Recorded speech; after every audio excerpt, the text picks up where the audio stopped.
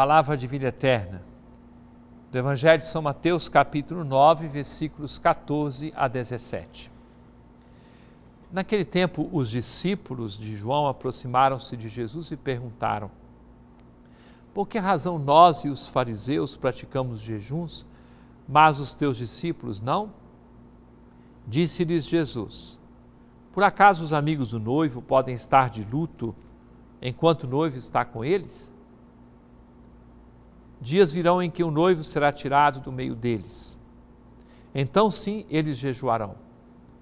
Ninguém coloca remendo de pano novo em roupa velha, porque o remendo repuxa a roupa e o rasgão fica maior ainda.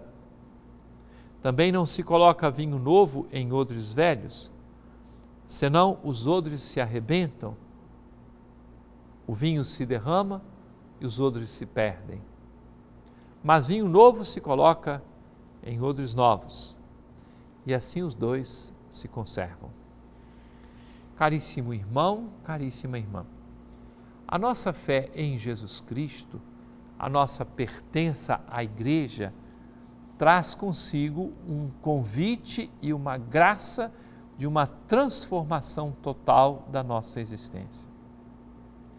O Senhor não quer que a gente faça ajeitamentos, como se fosse uma apenas uma maquiagem. O Senhor quer uma transformação profunda de nossa existência para vivermos a sua palavra e para estarmos nessa comunhão da igreja.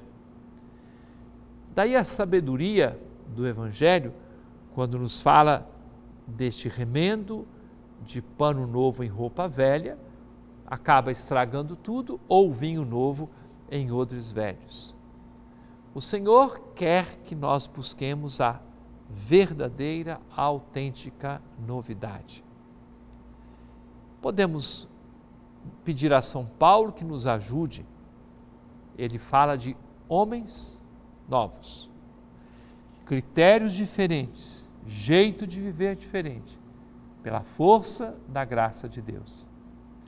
Este é o convite, esta é a provocação que o Senhor nos faz renovar-nos interiormente, deixarmos as coisas que são velhas. Não é velhice de idade, mas a grande velhice a ser superada, a ser vencida, é a do pecado. Que a graça do Senhor nos conduza e sejamos então capazes de dar estes passos. É palavra de vida eterna.